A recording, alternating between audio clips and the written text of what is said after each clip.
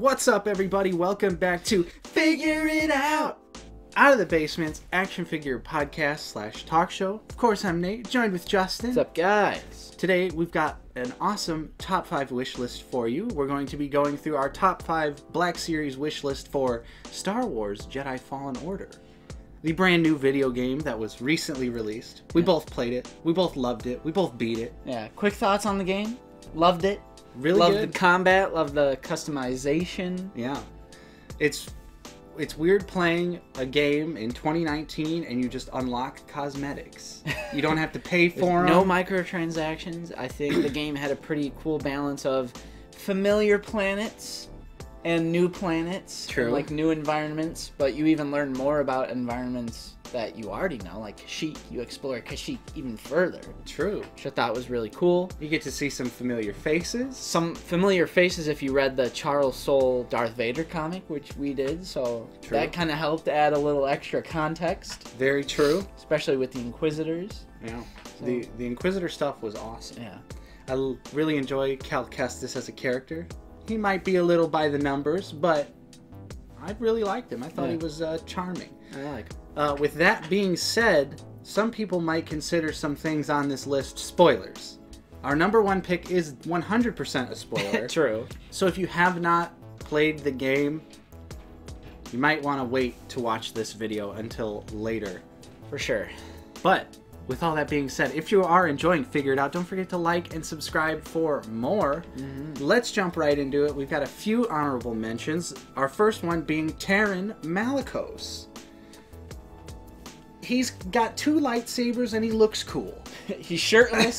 he has some cool like chest don't know, Scar, scars, yeah, like or, uh, scarification or something. But two red lightsabers. So we do not have a dual wielding red lightsaber character in the Black Series yet. True. And he's just sort of a unique look. And I like the background of his character, that being like he was a Jedi who just kind of said, fuck it. But he's a dark side user, but he's not like a Sith. Right. But he still has the red lightsabers and he hangs out on Dathomir for some reason. Or He's, a one-off. well, he's so like that's the- why he's on the honorable mention. Yeah, true. There's just not enough of him as a character in the game. So another honorable mention is the Rocket Trooper, and by Rocket Trooper I mean the trooper with the rocket launcher. Yeah. It's basically a stormtrooper, which they already have the mold. Add a red pauldron, I believe, and then the rocket launcher. 'cause we don't have a rocket launcher in the Black Series, I don't think. True. And I think it would be awesome. It would be a nice little variation, be super easy for Hasbro Yeah, to another do. Another stormtrooper. Just slap the red pauldron on there. Make a new mold for the rocket launcher. Call it a day. Gaming greats, twenty four ninety nine at GameStop. yeah, right. See, I'm just feeding you these ideas. I mean, Hasbro watches our videos. Yeah, we need a spoon here for Hasbro. Here comes the train. And then our final honorable mention is a Purge Trooper with the Vibro staff weapons. I don't know if they're exactly Vibro staffs. I think they are because they make like the same sound effect as like General Grievous's henchmen robots. Well, they do have the like staff version, and then they also have the like. right, there's like four different versions The of two- the Purge Trooper. There's the one with the blaster, which is the one we have in the Black Series, which we don't have in the Black Series because it's just impossible to find that figure True. unless you pre-ordered a physical copy of the game with the figure. But I thought since it was a GameStop exclusive, it would have just been at GameStop. Yeah. 'Cause We usually don't have problems with GameStop exclusives. True. I mean, it could be something that comes down the road, and we just gotta wait a little bit longer. Yeah. Of course, not gonna cave to the scalpers Right. for uh, this figure, but yeah, the standard Black Series release has just the blasters, which that enemy, that Purge Trooper type is in the game, but I definitely feel like you see the ones with the staffs Yeah. and the two handheld vibro yeah. weapons. Which to a lot more. clarify, there's four different iterations of the Purge Trooper. There's the one with the gun, the blasters. There's one with like one single vibro staff, and there's one that kind he kind of dual wields the baton. I he's Yeah. called like the baton Purge Trooper, and then there's one with the vibro hammer. Oh yeah, I forgot about that one. So, I mean, I would be fine with I, any of those. Purge But they could do like a cool purple kind of electric effect on the ends of them. yeah, some nice Optional, peg in, peg out. translucent plastic, Yeah. perhaps. Especially like the way they've been doing with the Power Rangers Lightning Collection, where almost every single figure has come with an effect piece. Mhm. Maybe we could start getting that in the Black Series. And this could mean that we could, since it is the same helmet, we could get a 212th Airborne Trooper, which was on our top five wish list for Revenge of the Sith, true. because that is the same exact helmet.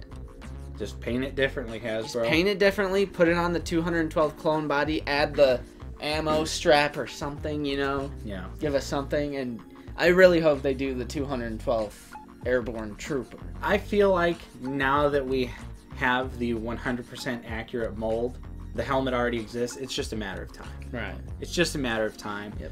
Okay, Get on it. Hear me out before we get into our top five. Purge Trooper four pack.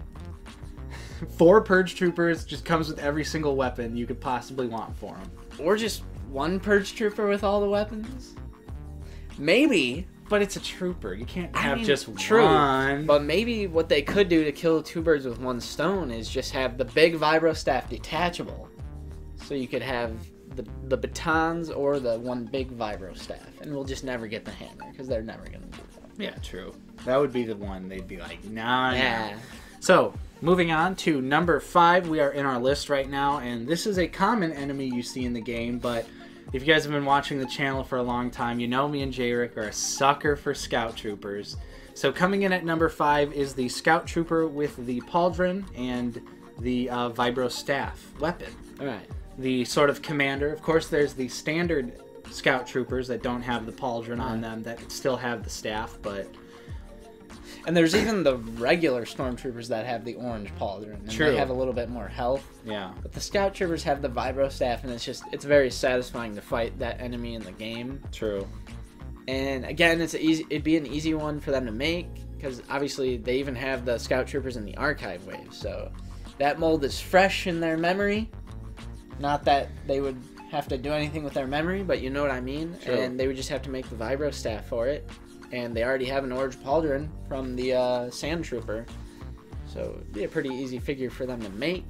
And like we have a Cal Kestis figure and a ninth sister figure, so I just think it'd be cool to get more of the. You know, this is a rather common character in the game, but something for else for Cal to fight. True. True. Coming in at number four is Cal Kestis's master, Jaro Tarpal? Tarp? Tarpal? Tapal? I think it's Tapal because Roos Tarple is a Right, Gungan. right, yeah. Jaro Tapal. Obviously, we don't get a lot of information about Jaro, but the moments he is in the game are really cool. I definitely like those moments where, like, Cal remembers a power that he has to use in a certain situation, and it does that by showing you a flashback. You even get a great uh, scene that I won't spoil. But yeah, he seems cool. Another lightsaber wielding character. Cal's lightsaber is actually his lightsaber. Yeah, just cut in half. Right. So potentially, it's a the other ignition thing is the emitter is the same design. Right. So they already have the mold for it. They just combine it and do two blades. And then if it is the same species as Zeb, they could use that same mold. True. Another Zeb, just a different head. And it would be cool because I feel like we generally don't get any of the bigger characters like in terms of like size in the Black Series. Mm-hmm. So he would obviously be like a much larger hulking Jedi. And I think mm-hmm. that would be a cool, really cool display piece. So yeah, Jaro Paul. Coming in at number three is another design that if you know me and Jayrick, you know we're suckers for it. And that is the Flamethrower Trooper. Uh, you go to Kashyyyk in the game, and there are some flamethrower troopers, and they're basically the Empire Strikes Back snow trooper with a little sort of With a little twist. gas mask apparatus thing on their face Right. and a giant flamethrower. It's just a really cool design. That's literally the beginning and end of that one. Which is funny because we usually complain about new trooper designs. True, but these ones are like subtle. It's not like a 100% different trooper that's just randomly out of nowhere. Like, I could believe there's a small sect of, of troopers that wear the snow trooper armor, but they just have like a little breathing apparatus Right. on them.